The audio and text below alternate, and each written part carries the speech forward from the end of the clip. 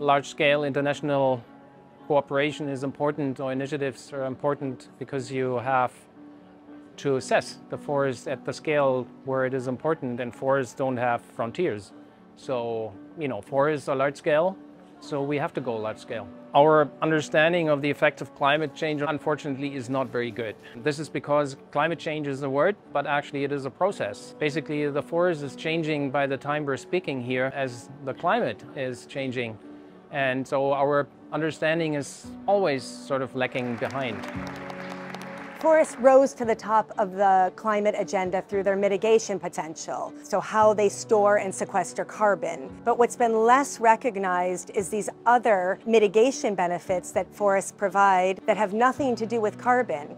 And there's been some really interesting research that's showing how forests, by the way that they move water and by their biophysical characteristics and processes, can actually provide 20 to 40 percent bonus mitigation that has nothing to do with carbon simply by providing these cooling benefits.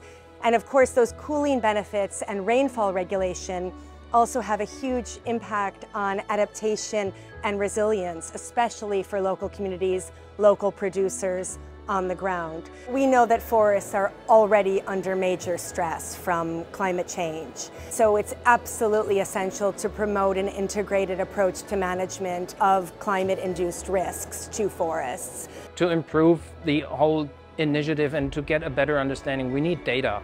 The most pressing is that we get together, that people collaborate at the international level, even at the global level, because climate change is a global phenomenon. So if we do want to get a grip of what's happening out there, we have to get together. And by doing this, then we learn about what's happening out there, and then we can define strategies how to improve our understanding.